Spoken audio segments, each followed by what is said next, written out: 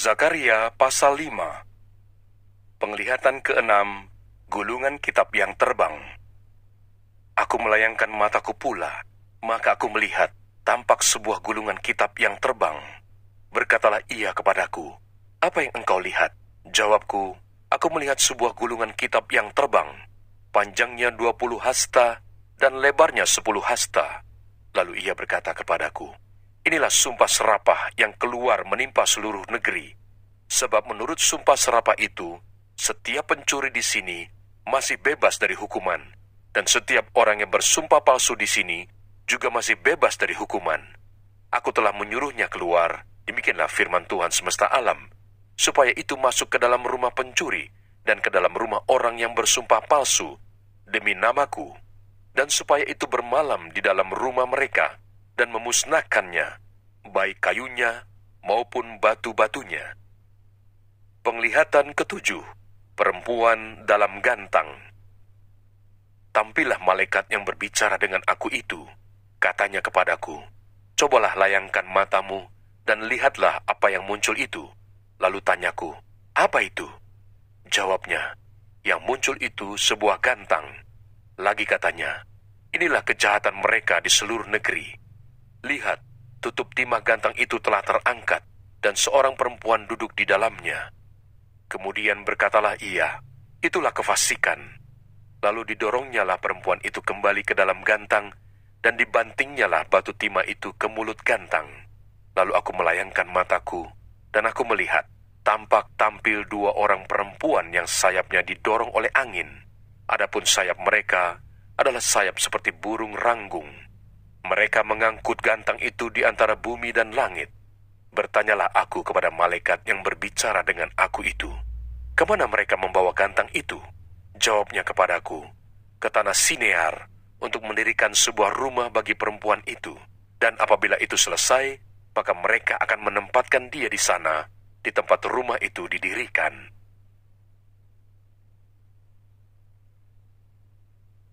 Zakaria pasal 6 Penglihatan ke-8 Empat kereta Aku melayangkan mataku pula, maka aku melihat tampak keluar empat kereta dari antara dua gunung. Adapun gunung-gunung itu adalah gunung-gunung tembaga. Kereta pertama ditarik oleh kuda merah, kereta kedua oleh kuda hitam, kereta ketiga oleh kuda putih, dan kereta keempat oleh kuda yang berbelang-belang dan berloreng-loreng. Berbicaralah aku kepada malaikat yang berbicara dengan aku itu. Apakah artis semuanya ini, tuanku? Berbicaralah malaikat itu kepadaku. Semuanya ini keluar ke arah keempat mata angin, sesudah mereka menghadap kepada Tuhan seluruh bumi. Yang ditarik oleh kuda hitam itu keluar ke tanah utara. Yang putih itu keluar ke arah barat. Yang berbelang-belang itu keluar ke tanah selatan. Dan yang merah itu keluar, gelisah untuk pergi, hendak menjelajahi bumi. Lalu berkatalah ia, Pergilah, jelajahilah bumi. Maka mereka menjelajahi bumi Kemudian berteriaklah ia kepadaku, Lihat, mereka yang keluar ke tanah utara itu akan menenteramkan rohku di tanah utara. Kerajaan Sang Tunas di Yerusalem. Datanglah firman Tuhan kepadaku, bunyinya, Pergilah pada hari ini juga ke rumah Yosia bin Sefanya, dan pungutlah persembahan dari pihak orang-orang buangan, yaitu dari Heldai, Tobia, dan Yedaya, semuanya orang-orang yang sudah datang kembali dari Babel. Pungutlah perak dan emas, buatlah mahkota, dan kenakanlah itu pada kepala imam besar Yosua bin Yosadak. Katakanlah kepadanya, beginilah firman Tuhan semesta alam. Inilah orang yang bernama Tunas. Ia akan bertunas dari tempatnya, dan ia akan mendirikan bait Tuhan. Dialah yang akan mendirikan bait Tuhan, dan dialah yang akan mendapat keagungan dan akan duduk memerintah di atas tahtanya. Di sebelah kanannya akan ada seorang imam dan permufakatan tentang damai akan ada di antara mereka berdua.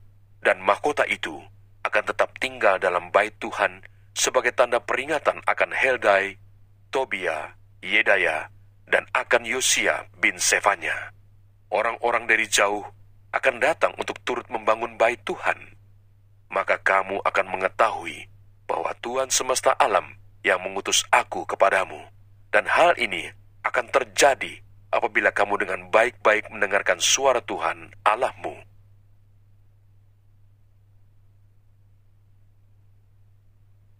Zakaria pasal 7 Ibadah puasa yang baik Pada tahun yang keempat zaman Raja Darius, datanglah firman Tuhan kepada Zakaria. Pada tanggal 4 bulan ke-9, yakni bulan Kislew, adapun penduduk Betel telah mengutus Sarezer dan Regem Melek serta orang-orangnya untuk melunakkan hati Tuhan, untuk menanyakan kepada para imam dari rumah Tuhan semesta alam dan kepada nabi demikian. Haruskah kami sekalian menangis dan berpantang dalam bulan yang kelima, seperti yang telah kami lakukan bertahun-tahun lamanya? Maka datanglah firman Tuhan semesta alam kepadaku bunyinya. Katakanlah kepada seluruh rakyat negeri dan kepada para imam demikian. Ketika kamu berpuasa dan meratap dalam bulan yang kelima dan yang ketujuh, selama tujuh puluh tahun ini, adakah kamu sungguh-sungguh berpuasa untuk aku? Dan ketika kamu makan dan ketika kamu minum, bukankah kamu makan dan minum untuk dirimu sendiri? Bukankah ini firman yang telah disampaikan Tuhan dengan perantaran para nabi yang dahulu? Ketika Yerusalem dengan kota-kota yang di sekelilingnya masih didiami orang dan masih sentosa, dan tanah Negeb dan daerah bukit masih didiami. Firman Tuhan datang kepada Zakaria, bunyinya, Beginilah firman Tuhan semesta alam laksanakanlah hukum yang benar, dan tunjukkanlah kesetiaan dan kasih sayang kepada masing-masing. Janganlah menindas janda dan anak yatim, orang asing dan orang miskin, dan janganlah merancang kejahatan dalam hatimu terhadap masing-masing. Tetapi mereka tidak mau menghiraukan, dilintangkannya bahunya untuk melawan, dan ditulikannya telinganya supaya jangan mendengar. Mereka membuat hati mereka keras seperti batu amril, supaya jangan mendengar pengajaran dan firman yang disampaikan Tuhan semesta alam melalui rohnya dengan perantaran para nabi yang dahulu. Oleh sebab itu, datang murka yang hebat daripada Tuhan. Seperti mereka tidak mendengarkan pada waktu dipanggil, demikianlah aku tidak mendengarkan pada waktu mereka memanggil firman Tuhan semesta alam. Oleh sebab itu, aku meniupkan mereka seperti angin badai ke antara segala bangsa yang tidak dikenal mereka, dan sesudahnya tanah itu menjadi sunyi sepi, sehingga tidak ada yang lalu lalang di sana. Demikianlah mereka membuat negeri yang indah itu menjadi tempat yang sunyi sepi. Jangan lupa subscribe, nyalakan loncengnya, like, dan share. Terima kasih. Tuhan Yesus memberkati. Shalom.